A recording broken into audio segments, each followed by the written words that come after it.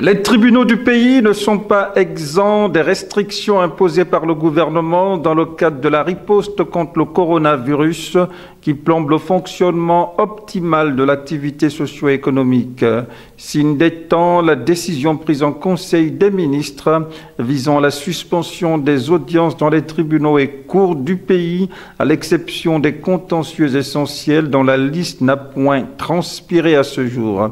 De l'avis de certains professionnels du droit, le cas des gardes à vue et de procès en référé doivent bénéficier de traitements spéciaux. C'est notamment le cas pour Maître Cédric Maguisset, avocat au barreau Gabona.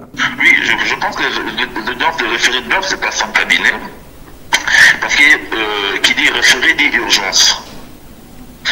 Ensuite, vous avez la situation des personnes qui sont gardées à vue dans les commissariats.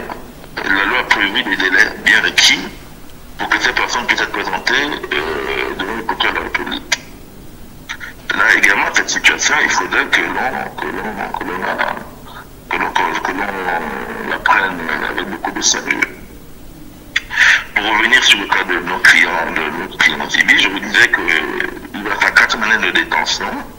Il a hâte de, démontrer euh, que les faits portés à ses, les greffes à temps portés à son encontre sont dénués de tout fondement.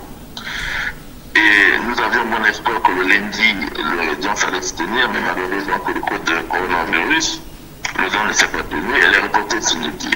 des mesures qui favorisent de fait le maintien en détention de certains prévenus en attente de jugement pour certains et pour d'autres d'ordre de mise en liberté OML.